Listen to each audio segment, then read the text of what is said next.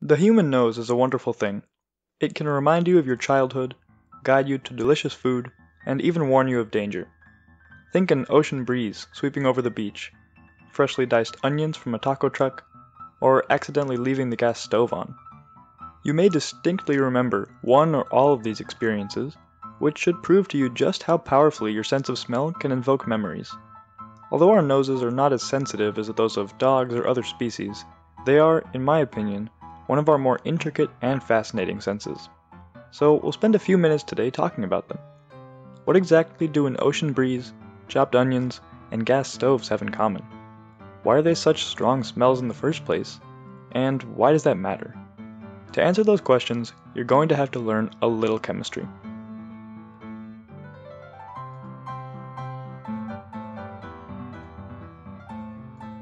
The refreshing odor of the ocean as you walk along the beach what is that smell exactly? Yes, salt, of course, but salt alone doesn't smell like that. This is decisively pungent, unique. The smell of the sea has many components, but an important one is called dimethyl sulfide. Dimethyl sulfide is produced by certain types of algae and phytoplankton in ocean ecosystems, and is responsible for that slightly savory, sulfur-like smell that I just mentioned. Small amounts are also present when cooking seafood and cabbage, among other foods. Dimethyl sulfide has niche uses in organic chemistry, so it is produced industrially using hydrogen sulfide gas over an alumina catalyst. Hydrogen sulfide is another foul-smelling compound, this time like rotten eggs, that is a waste product from refining petroleum. Starting to see the pattern of smelly substances yet? If not, let's take a look at our second scenario.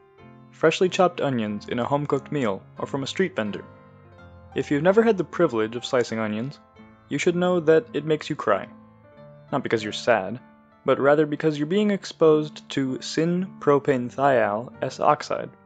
The nomenclature is a mouthful, but I've broken it down for you on the screen if you'd like to understand each part of the name. This compound is a natural lacrimator, which means it irritates your eyes and forces you to produce tears. If you'd like to learn more about lacrimators, check out my video at the top of the screen, and don't forget to subscribe. While not smelly in the same sense as the other chemicals in this video, propanethial S-oxide affects your tear ducts and nasal passages in such an unforgettable way that I think it deserved to be included here. If you have a gas stove or furnace in your house, you might have smelled a gas leak once or twice. The choking odor of rotten eggs warns you of a possibly dangerous gas leak. Natural gas is mostly methane, however, which is odorless. How can that be? Maybe I'm lying to you, or maybe, gas companies purposely infuse their natural gas with additives for safety reasons. Because methane has no smell, it will be impossible to detect a leak in your house, which would be extremely dangerous.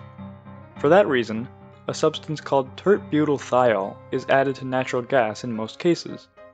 Tert-butyl-thiol has that characteristic scent of rotten eggs, detectable at less than 1 part per billion. For reference, each dot here could represent 1 million molecules in the air you breathe. If we zoom in on one dot, now each dot represents 1000 molecules. We can zoom in yet another time, where each dot is now one molecule. If one single dot is tert-butyl-thiol, where the rest are nitrogen, oxygen, or other gases in the air, you would still be able to smell it. Tert-butyl-thiol is also prepared from hydrogen sulfide, Another example of recycling hazardous wastes and turning them into useful substances for us. The three compounds I've talked about here, dimethyl sulfide in the ocean, syn-propanethial S-oxide in onions, and tert-butyl-thiol in natural gas, have one thing in common if you haven't noticed already, sulfur. Sulfur compounds are generally smelly, which is the basis for many of their applications. Amino acids like methionine and cysteine contain sulfur, and when they degrade, for example in rotting food, they produce other organosulfur compounds. This is hypothesized to be a reason for our exceptional sensitivity to the odor of sulfur. We are innately protecting ourselves from the dangers of rotting food. So the next time you smell something that pungent or putrid, it just might be sulfur.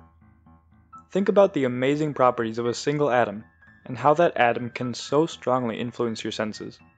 That is why you should care about the smell of sulfur. If you enjoyed this video or learned anything about organic chemistry, like and subscribe to my channel. For additional content, like me on Facebook, and if you are able, please consider donating to my Patreon page to support me and the material I create for you. Thanks for watching.